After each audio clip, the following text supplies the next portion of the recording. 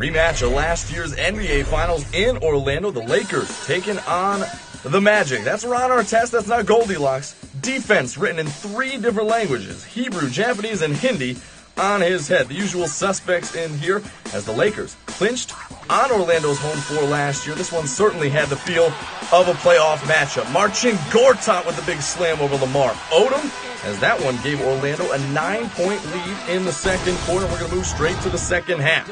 Vince Carter on the three ball attempt, gets it to go. Matt Barnes, Kobe Bryant getting into it a little bit. This would be a recurring theme here off the Dwight Howard miss. Barnes, the follow dunk. Little forearm shiver from Kobe. Those two trying to stay away, but Kobe gets them once in the midsection, and as Barnes comes down again in the chest, those two chirping back and forth all game long. Kobe here on the ensuing possession gets fouled by Barnes. The two talking to each other once again as the veteran Kobe getting in his head a little bit. Barnes then fakes the pass in Kobe's face. Kobe no reaction whatsoever as the two went back and forth again. Lamar down the middle. Oh, Oh, didn't quite get the two to go. A little bit too far out, Lamar. Need another step before you go for that deuce. And back here on the other end, Rashard Lewis in the corner, three ball, and the foul from Odom. That put up Orlando by 12 at that point, 74 62. Gasol with the drive on Dwight Howard with the left hand. Howard says, get it out of here. Howard believes he can fly.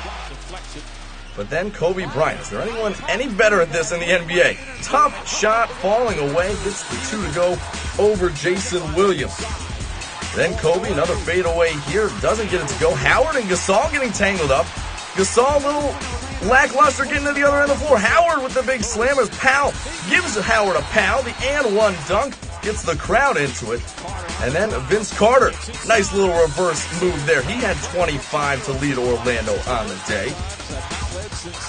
And then Kobe Bryant, nice strong take there. He had a game high 34, pulls the Lakers within two. And Jameer Nelson kicking it out to Barnes. A lot of unnecessary talking throughout the game, but that one trying to let the game do the talking there. Thought that would be the dagger at that point, up six. And here's Jameer Nelson on the inbounds after a bucket from the Lakers. Hard pick there set by Matt Barnes. Derek Fisher didn't appreciate it. He gets right up in his grill. Here's one hard bump on the previous possession. And then the two reacquaint themselves here. A little bit of an illegal screen. No foul called there, but both will get a double foul here after Fisher confronted him about it. Then Kobe Bryant in the corner, down by five. Top three ball in Matt Barnes' face. Cuts the lead to two again. Three point Orlando lead. Kobe for the tie. Looks good. Or does it? Let's look at the replay.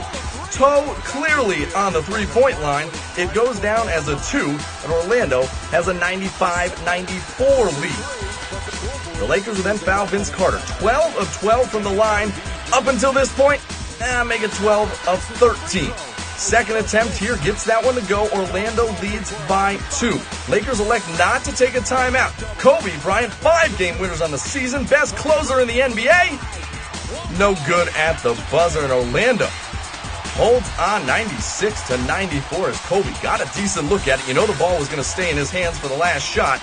Just couldn't get that one to go.